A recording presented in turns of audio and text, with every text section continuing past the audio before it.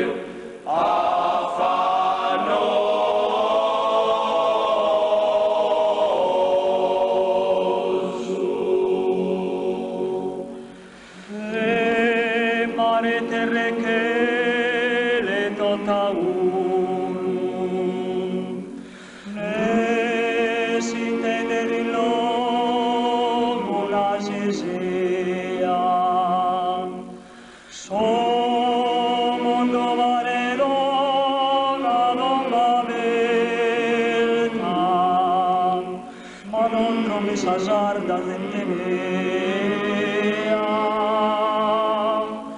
Nece de asimerreo